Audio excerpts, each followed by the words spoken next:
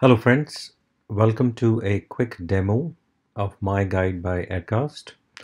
So here I'm in Salesforce and let's say I want to teach my users how to do poll inside Salesforce.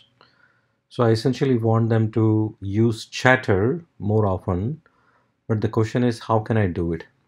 There are a couple of ways. One is uh, you can see here I have my balloon here if I move this balloon around uh, you can see that I can place it anywhere on the page.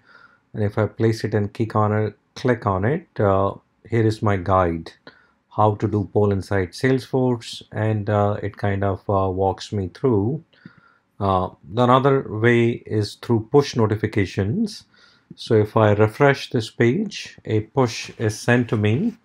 It is saying here would you like some guidance? I have a guide here how to do poll inside Salesforce. So let's go ahead and play this guide.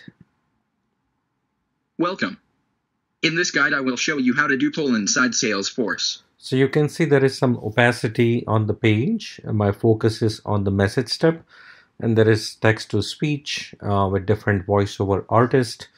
I can record my own voice over here and uh, let's just play this guide. Click on chatter.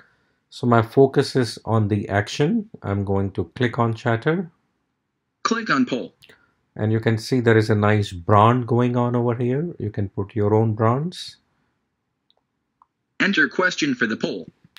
So I'll go ahead and I'll enter a question. Enter choice 1. Now there is some opacity that has come on the screen. Enter choice 2. Let's go ahead and enter it. Click on ask and here is the final step. So as I click on the done button you can see that survey has come. Uh, this guide was useful. And I can simply say here thank you for the guide.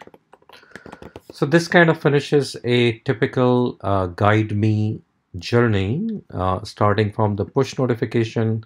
So if I come over here I see a push all the way to the survey. Uh, this is how the core guide me feature work guide is also available over here in a nice uh, step-by-step uh, -step format. I can also download guide as a video file as a PDF file as a PowerPoint file as a GIF file animated GIF file.